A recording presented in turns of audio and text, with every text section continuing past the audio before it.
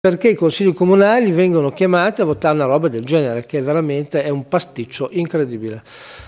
Anche perché dal punto di vista giuridico creare un ufficio unico di dipendenti della provincia che sono distaccati a questo ufficio in modo che possano servire anche altri enti è un tirare le norme da una parte e dall'altra che è veramente borderline.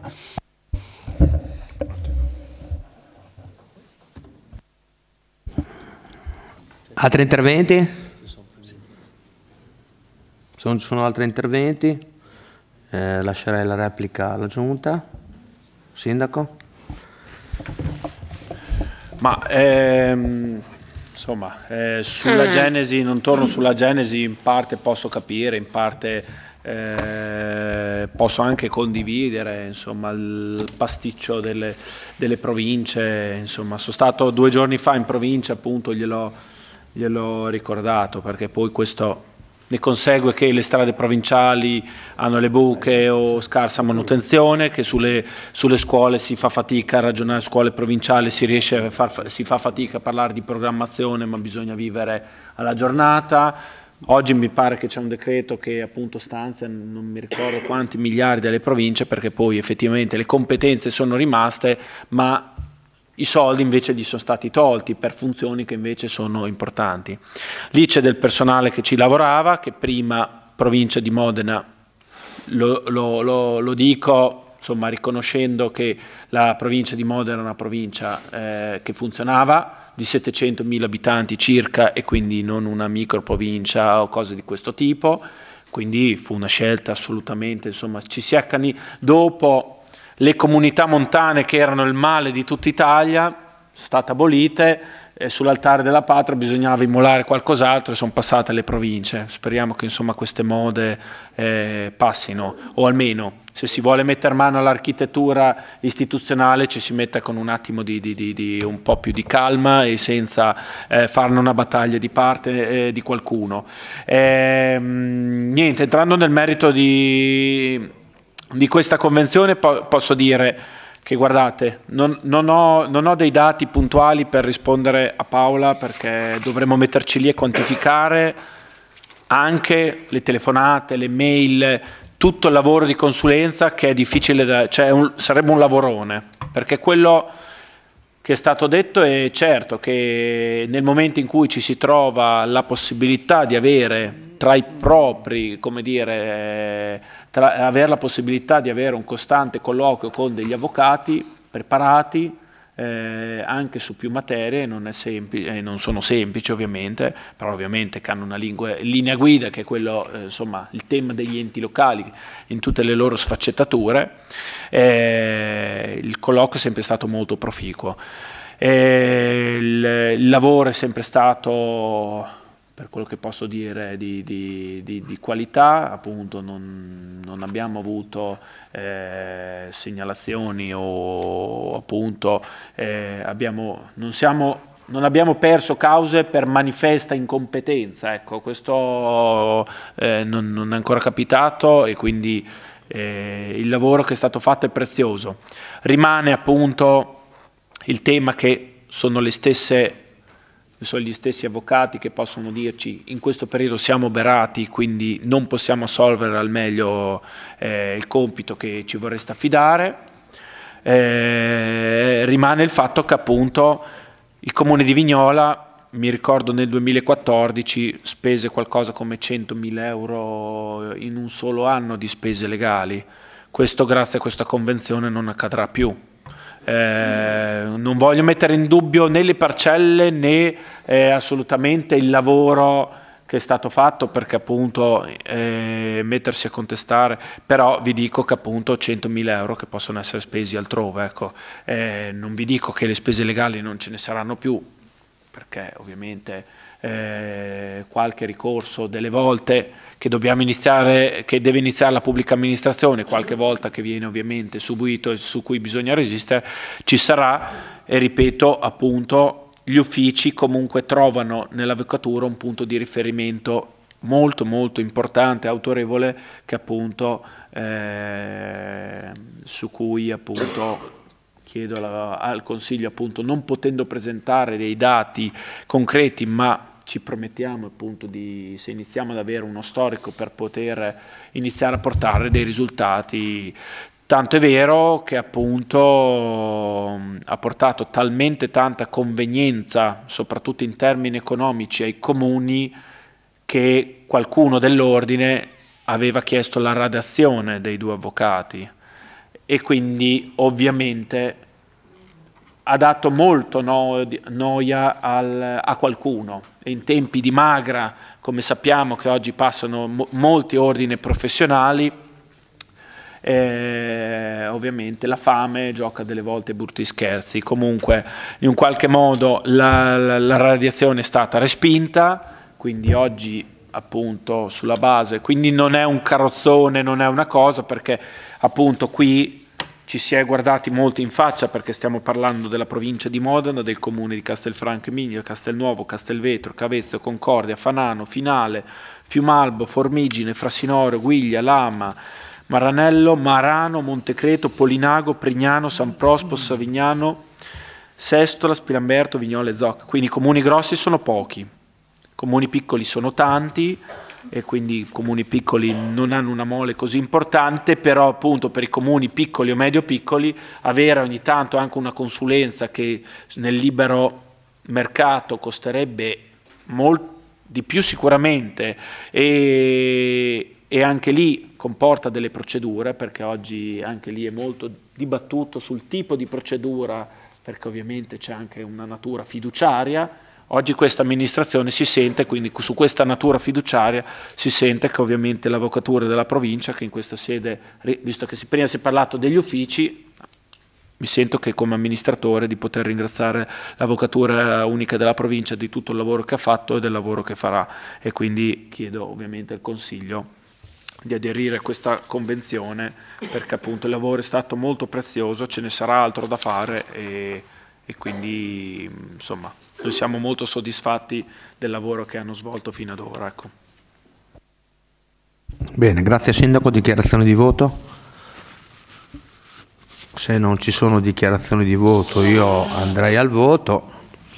Allora, punto numero 6. Convenzione costitutiva integrativa dell'Ufficio di Avvocatura Unica Pubblica fra Provincia di Modena ed il Comune di Vignola. Approvazione. Favorevoli? Contrari? Astenuti? Ok, abbiamo anche l'immediata esecutività su questo punto. Per l'immediata esecutività favorevoli? Contrari? Astenuti? Idem come sopra.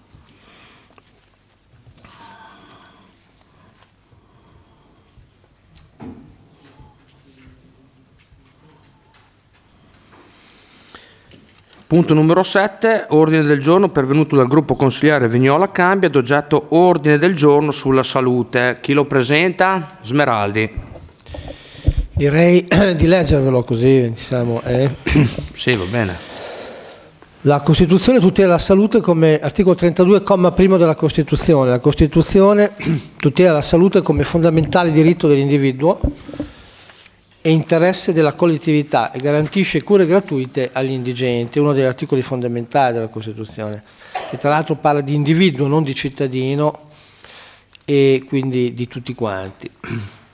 Considerato che, eh, secondo notizie di stampa non smentite, negli ultimi 18 anni i posti letto totali negli ospedali della nostra provincia sono diminuiti da 2.500 circa a poco meno di 2.000 un calo che ha interessato in particolare strutture ospedaliere minori come Finale e Castelfranco Emilia convertite in case della salute. Nell'ospedale di Vignole nel 2000 i posti letto erano 124, il 31 ottobre dell'anno scorso erano diventati 96. Il capogruppo di Forza Italia in Regione, Andrea Galli, ha parlato di tempi di attesa per un'operazione intollerabili. Siamo i peggiori in Regione, serve una svolta. Queste le parole di Galli. In totale sono oltre 10.000 le persone che aspettano di essere operate al Policlinico. Naturalmente il direttore generale della nostra ASL, dottor Annicchiarico, ha replicato che il problema non sussiste essendo rispettati quasi sempre i tempi previsti. Più cauto il direttore sanitario del Policlinico, dottor Sircani, il quale ha dichiarato, sua dichiarazione, siamo consapevoli di una criticità sulle attese che ci stiamo impegnando da alcuni anni ad affrontare, individuando risposte sempre più efficaci anche per la casistica più frequente e di bassa complessità, questo Sircana sugli interventi. Nell'ospedale di Vignola i tempi di attesa per le prestazioni specialistiche ambulatoriali alla data di ottobre 2018 sono decisamente peggiorati per quasi tutte le prestazioni. I tempi previsti dalla normativa regionale per le prime visite 30 giorni e per le prestazioni diagnostiche strumentali 60 giorni non vengono rispettati per angiologia, colonoscopia, gastroscopia, geriatria, nefrologia, neurologia, oculistica, odontoiatria, pneumologia, reumatologia, tau, urologia, RX ossa, ecografia mammaria, mammografia, TAC addominale, TAC torace. Ma non solo, anche per le prestazioni per le quali i tempi di attesa sono rispettati, nella generalità dei casi essi sono comunque aumentati rispetto alle rilevazioni del luglio e del dicembre 2017. Un esempio, per un elettrocardiogramma occorrono 24 giorni, nel 2017 solo 3 o 4 giorni, 3 in luglio e 4 in dicembre. Del resto il problema delle liste di attesa affligge tutta l'Italia e non solo il sud ad esempio. Secondo il sesto rapporto dell'Osservatorio civico sul federalismo in sanità, per un intervento di protesi all'anca si attende di più in Veneto 107 giorni che in Calabria 28 giorni per una coronografia più in provincia di Bolzano 44 giorni che in Puglia 10 giorni. Ci sono ben 11 milioni di cittadini che addebitano ai tempi di attesa troppo lunghi la loro rinuncia ad effettuare una prestazione, 11 milioni. E sono 6 milioni e 200 mila i cittadini che dichiarano di aver rinunciato a una prestazione per motivi economici, cioè per i ticket troppo alti. Per queste considerazioni il Consiglio Comunale chiede che il sindaco, massima autorità sanitaria del territorio, si faccia parte attiva per ottenere dagli enti competenti, ASL e Regione, nel rispetto dell'articolo 32 della Costituzione, primo, ulteriori garanzie circa la permanenza nel tempo e il potenziamento dell'ospedale di Vignola, che negli ultimi anni ha perso posti letto e servizi, evitando che lo stesso venga progressivamente trasformato in casa della salute struttura importante ma che svolge attività diverse rispetto all'ospedale. Vi ricordo a questo riguardo che anche a Pavullo e a Mirandola ci sono comitati di cittadini in agitazione proprio per la difesa degli ospedali, anche se la Regione ribadisce che sono stati potenziati sia Pavullo che eh, Mirandola. Due, informazioni tempestive circa il numero degli interventi che vengono effettuati nel nostro ospedale e i tempi di attesa per gli stessi. 3. Il rispetto dei tempi di attesa per le prestazioni specialistiche ambulatoriali, considerando che quelle attuali sono assolutamente inaccettabili e richiedono un congruo incremento delle prestazioni medesime.